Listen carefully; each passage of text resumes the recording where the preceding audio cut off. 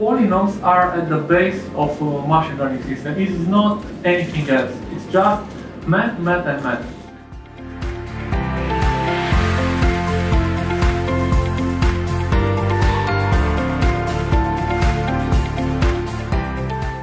The goal of building machine learning into a software system is to uh, have it adapt and learn from its experience. So like what we do, right? As we grow older, hopefully we become wiser and make better decisions.